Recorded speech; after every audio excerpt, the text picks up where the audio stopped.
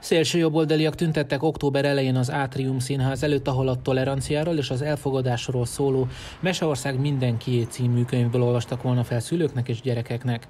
A régi átírt meséket tartalmazó könyvre akkor figyelt fel a közvélemény, amikor a Mi Hazánk mozgalom politikusa ledarálta. A témában a miniszterelnök is megszólalt. Nyugodtan mondhatjuk, hogy Magyarország a homoszexualitás tekintetében egy toleráns, türelmes ország.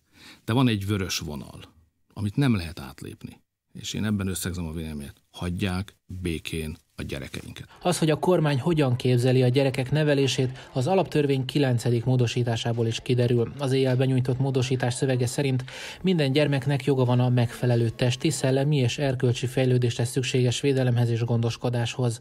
Magyarország védi a gyermekek születési nemének megfelelő önazonossághoz való jogát, és biztosítja a hazánk alkotmányos önazonosságán és keresztény kultúráján alapuló értékrend szerinti nevelést. Lövétei István alkotmányjogás szerint ez azt jelenti, hogy a fiúkat úgy kell nevelni, hogy fiúk, a lányokat pedig úgy, hogy lányok maradjanak. Tehát nem megengedhető az az erkölcsi igény, hogy nemet változtasson egy férfi, vagy nemet változtasson egy nő. Az új alaptörvény a családmodellre is kitér, előírná, hogy az anya nő, az apa férfi. Az LMBTQI embereket képviselő háttértársaság szerint semmit mondó ez a megfogalmazás. Természetesen az anya nő, az apa férfi, a két anya az két nő, a két apa az két férfi, a család meg család. Ebből a megfogalmazásból nem következik az, hogy egy családban feltétlenül szükség lenne anyára és apára, az a törvénytervezet viszont szerintük kifejezetten az egynemű párok ellen íródott, amely szerint csak házas párok fogadhatnak örökbe, egyedülállóaknál erre kizárólag Novák Katalin családügyi miniszter adhat engedélyt.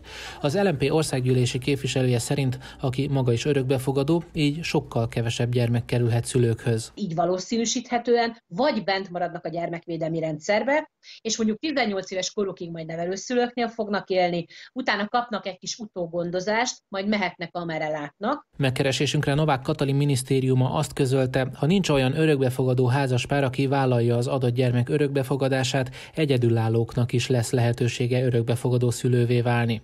Erről minden esetben a konkrét helyzet ismeretében szakemberek véleménye alapján a gyermek érdekeit szem előtt tartva fognak dönteni.